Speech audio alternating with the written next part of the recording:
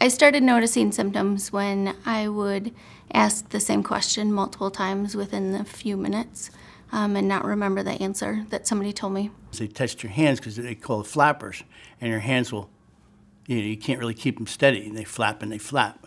And when that starts, that's when you know you're getting the toxins. It's kind of a process where you know certain things are not good. And it started small, and then progressively, progressively got worse over the course of time. And there was one specific time I got in the car and started driving home from work. And uh, I came to in the car while driving. Now, obviously, I was still driving okay. We didn't crash or anything. But at the same time, on the way home, um, I looked at where I was, and I had to look to the left to realize the sun was setting. And I noticed I had my, uh, my you know, suit and tie on that day. So like, okay, um, I must be coming home from work. The problem was I had passed my exit by about two hours. You can't remember anything, you're shaky, you feel like you're 80 years old. Just crawled around the house, um, didn't know where I was, didn't know, couldn't talk, couldn't walk, crawled, tried to bust through the walls because I couldn't get out. And then one day I walked in, and my husband, Michael, was holding the remote control and his cell phone. And he said, I'm not sure what these are.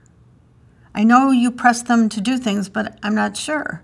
I was having some problems with um, fluid in my abdomen, and I just was really tired and really just feeling kind of bad and feeling kind of um, just irritable and really exhausted. And so I went to um, a doctor who recommended me that I see a different doctor, and then that's when they found that I had that I had something called ascites on my abdomen, which is fluid building up in my in my belly, and that is a one of the symptoms for cirrhosis. And so that's when they sent me to a specialist, and and it was confirmed that I had um in decompensated cirrhosis. So, and as soon as I was diagnosed, I got I started to get really sick really quickly.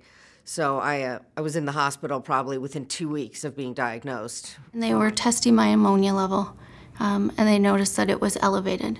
But they primarily went on the symptoms that I was having and the severity of the, the forgetfulness and the fatigue. Um, and then that's when I was diagnosed with hepatic encephalopathy, or HE.